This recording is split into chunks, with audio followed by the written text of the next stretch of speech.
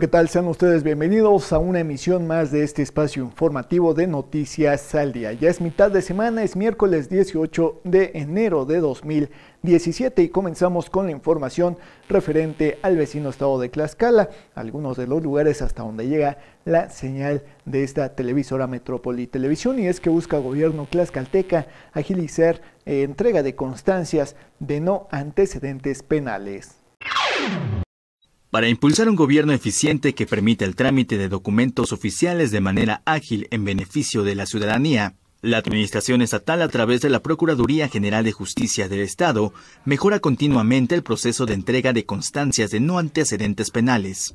Entre las medidas para fortalecer la eficiencia en el servicio está la ampliación del horario de atención de 8 a 14 horas, de lunes a viernes, y con la finalidad de que un mayor número de personas tramiten esta constancia. Además, el gobierno del estado ofrece la posibilidad de que tlaxcaltecas que se encuentran en el extranjero puedan obtener este documento a través del consulado mexicano del país donde radiquen. Los interesados en obtener este documento deben acudir a las instalaciones de la Procuraduría General de Justicia del Estado, ubicadas en Libramiento Poniente sin número, Colonia Uniclax, en la ciudad de Tlaxcala, y dirigirse al Departamento de Servicios Periciales, en el área de expedición de constancia de no antecedentes penales.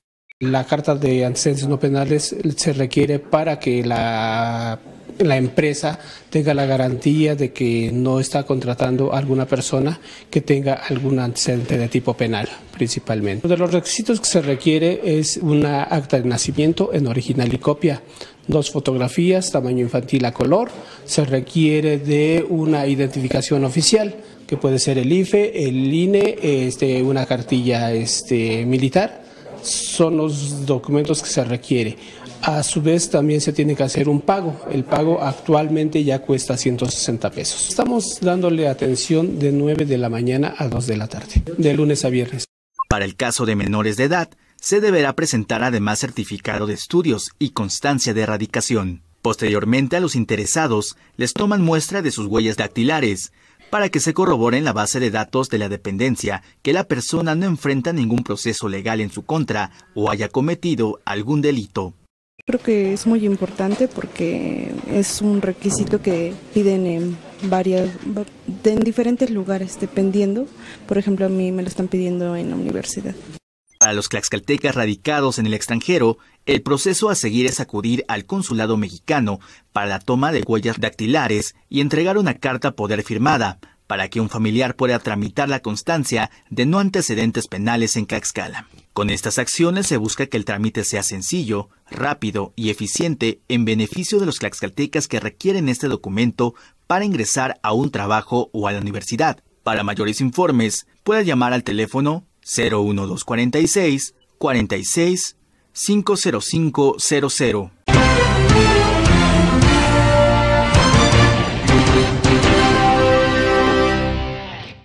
En nuestra segunda nota, Canaco Tlaxcala da a conocer medidas ante alza en el precio de combustibles. Cámaras de Comercio y Servicios en el Estado anunciaron este lunes 16 de enero una serie de medidas de apoyo a sus agremiados ante el incremento en los precios de los combustibles. El presidente de la Federación de Cámaras de Comercio en Tlaxcala, Luis Vargas, destacó que la intención es apoyar al sector de comercio y turismo con nueve acciones, entre las que destacan financiamiento y capacitación. La gestión y adquisición y realización de franquicias, la gestión de fondos de inversión a lo que antes se llamaba a fondo perdido. Entre, por ejemplo, tenemos INAE, SINADEM, SAGARPA, entre otros rubros, apoyo a la formalización de su negocio, un manejo de la contabilidad y apoyos de los diferentes trámites municipales. Hasta esta fecha, señaló, no han presentado pérdidas en ventas o en servicios entre sus 13.200 agremiados. Sin embargo, ya toman medidas para evitar se paralice la economía formal. Nuestro gremio se, se solidariza con la ciudadanía de la cual también formamos parte y exhortamos a, que no haya una alza de precios de manera imprudente, que haya una alza de precios de manera mesurada, para que hoy nosotros también somos ciudadanos. También, aunque somos comerciantes, estamos dentro de la ciudadanía y hoy estamos exhortando también a nuestro gremio que vayamos con esta solidaridad con toda la ciudadanía para que las alzas sean no mayores a un 5%. Otra medida que han tomado son diversas reuniones con el secretario de Desarrollo Económico en la entidad para diseñar un comité de regulación comercial para atender las necesidades de los empresarios, además de que están en pláticas con los 60 presidentes municipales a fin de que disminuyan el costo de las licencias de funcionamiento en el comercio establecido. El anuncio lo realizaron de manera conjunta en las instalaciones de la Cámara Nacional de Comercio, Servicios y Turismo de Tlaxcala, las cámaras de Apizaco, Chautempan y Huamantla.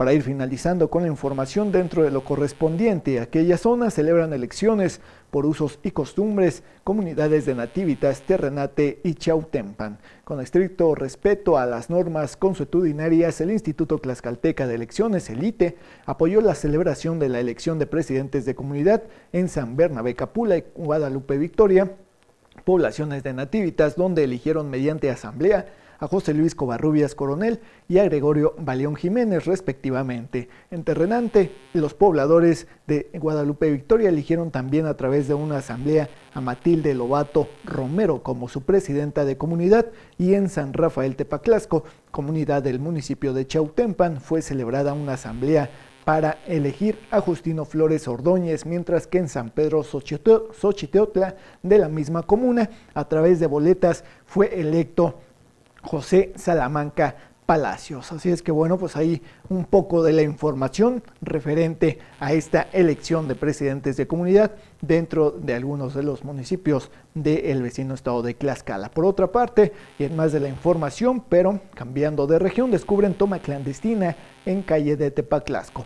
Una toma clandestina en un, ducto de petróleos mexicanos en plena calle de San Cristóbal Tepaclasco fue descubierta allá dentro de este municipio o perteneciente al municipio de San Martín Texmelucan. La conexión se encontraba a escasos 70 centímetros de la privada Rosario en la colonia Loma Bonita mediante una manguera conectada al ducto ubicado frente a una vivienda en donde hace pocos días fue ubicada otra toma clandestina. El hecho fue notificado a las autoridades, eh, arribando el ejército mexicano, policía estatal y seguridad física de Pemex, quienes procedieron a sellar el ducto y por supuesto a resguardar la zona. En otra más de las notas dentro de lo correspondiente a aquella zona, acusan falta de transparencia en, el ayuntamiento de Texmelucan. El regidor de Fomento Económico Marco Antonio Escobedo Gutiérrez señaló la falta de transparencia en los recursos que maneja el ayuntamiento a cargo de Rafael Núñez Ramírez. Lo anterior, luego de que el pasado viernes en sesión extraordinaria de Cabildo se pidiera a los regidores la aprobación del estado financiero de diciembre de 2016, así como de la cuenta pública del mismo año, situación por la que cuatro de los presentes votaron en contra debido a que en el cabildo no se les proporcionó la información completa, además de citarlos de manera prematura, por lo que insistirá en que se transparenten los recursos y se haga más eficiente el manejo de los mismos, pues la ciudadanía debe de saber en qué se gasta el dinero de la comuna. Pues bien, ahí la información referente a, aquel municipio, San Martín Texmelucan, con respecto a las actividades realizadas por el ayuntamiento. Lo invito a que continúe con nosotros, vamos a una muy breve pausa para posteriormente continuar con más de la información que le hemos preparado aquí en Noticias al Día. Quédese con nosotros, volvemos en un momento.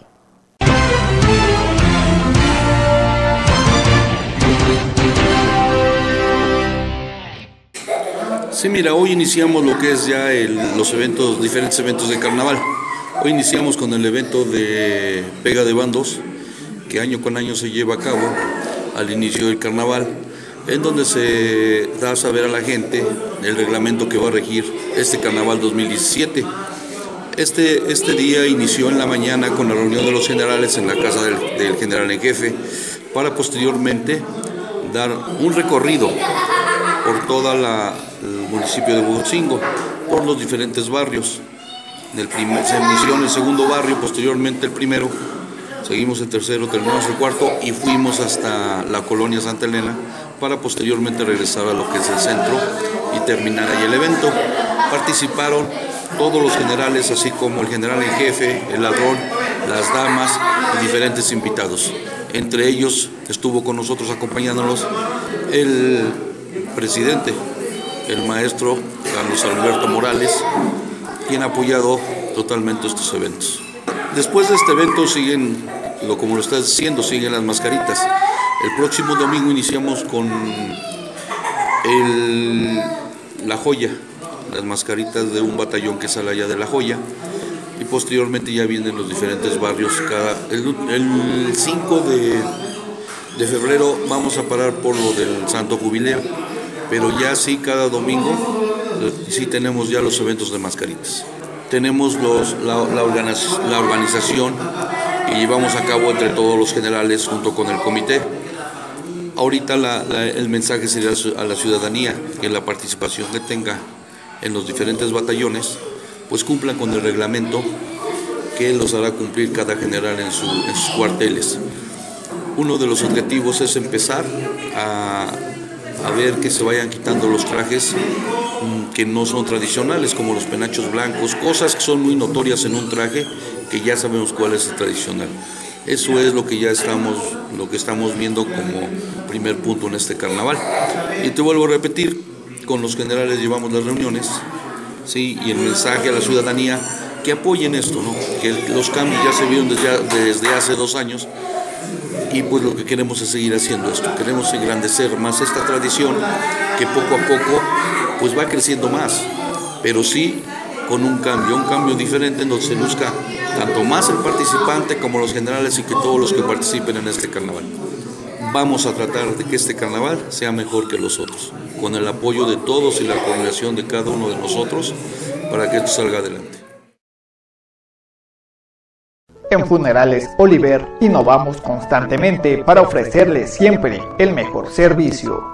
Contamos con cruz de cedro, pino, aluminio y de metal con el mejor precio y calidad, así como los servicios que usted ya conoce, inhumaciones, exhumaciones, crematorio ecológico, capilla de velación, sala de embalsamado, exhibición de ataúdes, estacionamiento y servicio de carroza. Además, realizamos traslados nacionales, internacionales y desde cualquier parte de Puebla hacia Huejotzingo. Le atendemos las 24 horas, los 365 días del año en Avenida Miguel Jerónimo Martínez, 1101, cuarto barrio en Huejotzingo y en Boulevard Forjadores en Manantiales. Llámenos 227 27 60405. Recuerde que el buen trato y calidad no tienen por qué costarle más.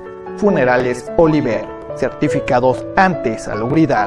Pregunte por nuestros paquetes a previsión. Funerales Oliver, cumpliendo 20 años a su servicio gracias a su confianza.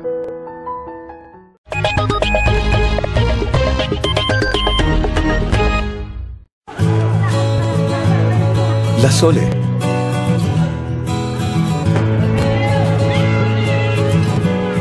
Luchito. La Diana. Don Francisco. La Biblia. Estos rostros son los que más importan. Ayudar puede ser solo un pequeño gesto. Pero a ellos les puede cambiar la vida. Dedicarles nuestro tiempo e interés puede ser la diferencia.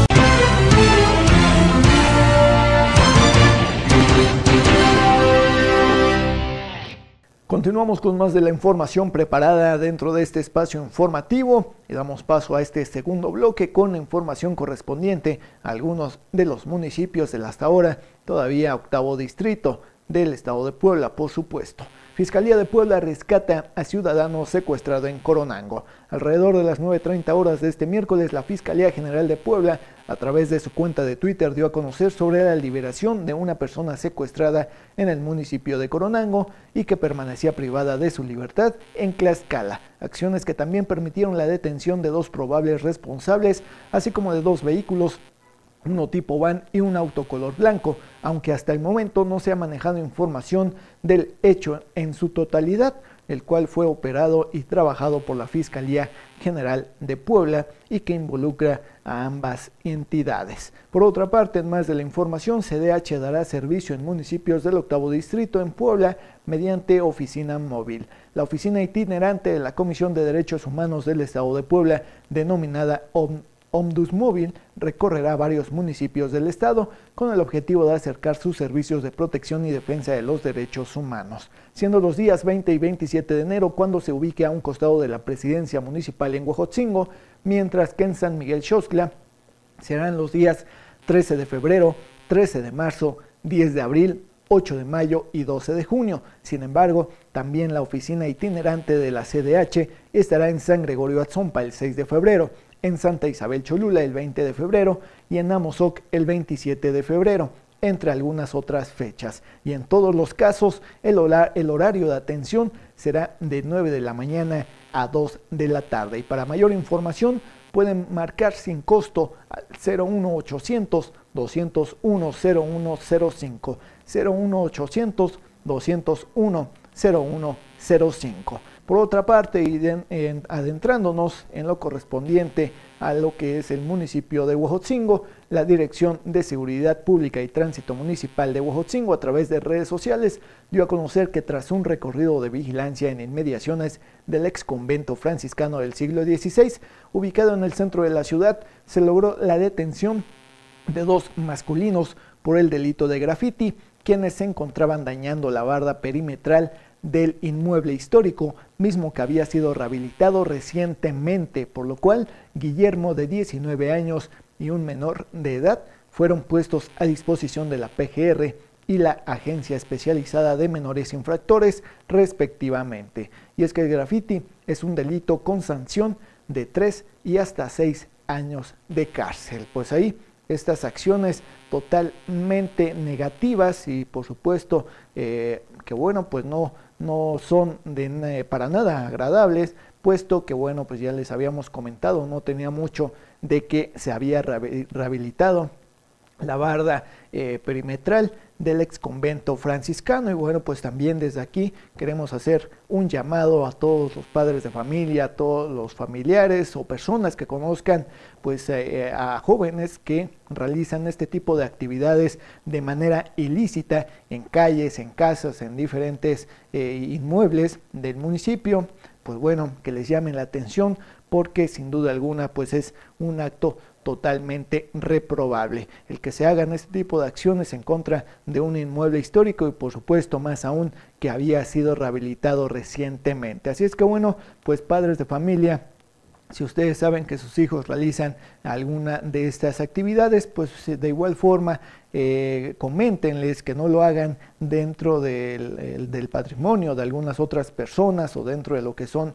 eh, el patrimonio histórico del, municipio o de cualquier otra ciudad, porque pues sin duda alguna, ya les comentamos, es un delito que se castiga con 3 a 6 años de cárcel entre pues bueno algunos otros aspectos que bueno eh, seguramente al ser aprendidos, como en este caso estos dos jóvenes, pues les serán señaladas las eh, pues, indicaciones, las acciones a seguir. Así es que bueno, pues indíquenles a sus familiares, a sus hijos, a sus jóvenes que no realicen este tipo de actividades en el patrimonio cultural pues de, de lo que es el Estado, de cualquier otro lugar, de cualquier sitio, porque sin duda alguna pues es un, un acto completamente reprobable. Por otra parte, ya para ir finalizando con la información correspondiente también a este municipio y por supuesto dentro de lo que le hemos preparado para este día, eh, inauguran autoridades de Huejotzingo, puente en el barrio de Texalco, en Atezcac. Hay un gran compromiso con las ocho juntas auxiliares, hay un gran compromiso con las colonias, hay un gran compromiso con los fraccionamientos, hay un gran compromiso con los barrios tradicionales de Huejotzingo, hay un gran compromiso con las nuevas unidades habitacionales, hay un gran compromiso con Santa María Tesca, porque ese compromiso no se termina cuando digo o cuando decimos que hemos hecho un trabajo histórico para Santa María Tesca. No se termina ahí. ¿Y por qué no se termina ahí? Porque como bien lo dicen los que me han antecedido en la palabra, falta mucho por hacer por Santa María Tesca. Pero se ha venido haciendo, se ha venido haciendo y el trabajo es tangible. Estamos acá para dar el la inauguración de lo que es una obra muy importante para Santa María Tesca. Muy importante para Santa María Tesca. El puente o el paso del barrio de Tezalco. principalmente beneficiándose Santa María Tesca y el barrio de abajo. Una obra que no se veía cuándo iba a llegar y que no se veía cuándo iba, cuándo iba a realizarse. Pero hoy, en esta tarde histórica del 16 de enero del año 2017, podemos decir que hemos cumplido con un gran compromiso no solamente para Tesca, hemos cumplido con un gran compromiso para el municipio de Huejotzingo. Esta vía de acceso y esta vía de evacuación por cualquier contingencia de nuestro volcán está lista para ser usada principalmente por Santa María Tesca. Y esa es la buena noticia que nos tiene el día de hoy reunidos acá.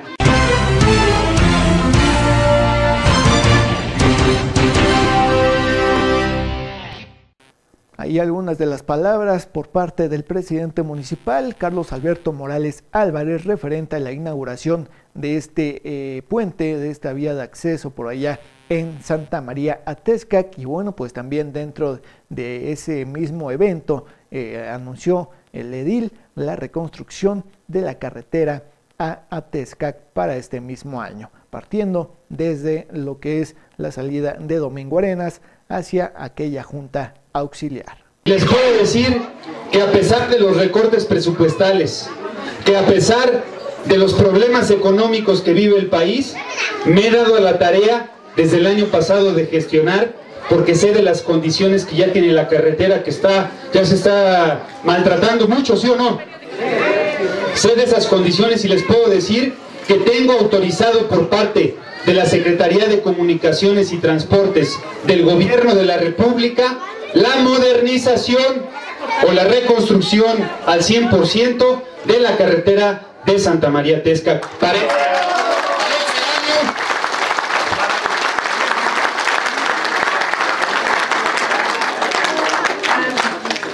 continúo. Para este año está lista, está lista ya la modernización de la carretera que va de Domingo Arenas a Santa María Tesca. Una carretera muy importante. Imagínense ustedes, estamos iniciando bien el año.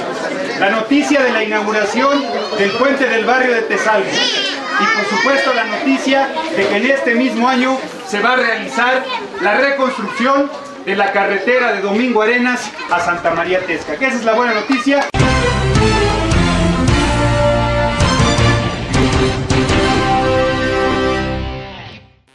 De esta manera es como hemos llegado a la parte final de este espacio informativo de noticias al día, al cual, les recuerdo, se transmite cada lunes, miércoles y viernes a través de esta televisora alrededor de las 9 de la noche. Por supuesto, le hacemos la invitación para que no solamente nos siga a través de este canal, sino también en redes sociales. Ahí usted nos encuentra en YouTube y Facebook principalmente como Garco Producciones y ahí podrá encontrar una gran diversidad de información noticiosa que pues bueno, no únicamente tiene que ver dentro de lo regional, sino también de manera estatal, nacional e incluso internacional. Así es que síganos en nuestras redes sociales porque ahí le compartimos la información que pues varios medios, varios eh, eh, pues bueno, medios digitales principalmente pues realizan eh, o van dando a conocer, así es que bueno, pues también ahí nosotros le damos compartir para que pues de alguna manera también mucho más, mucha más gente pues llega a conocer de las diferentes acciones que se van generando momento a momento con el paso